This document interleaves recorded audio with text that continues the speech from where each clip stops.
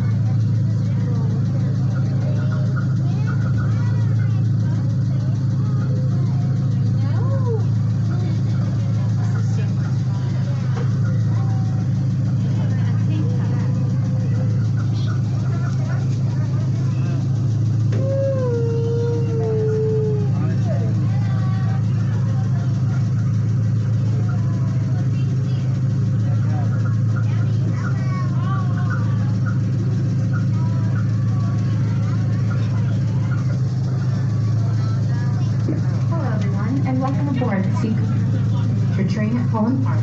Before we take off, we have a few announcements to ensure the safety of everyone on board. We ask you to please remain seated throughout the duration of the ride. Keep all hands, feet, heads, and personal belongings inside the train at all times.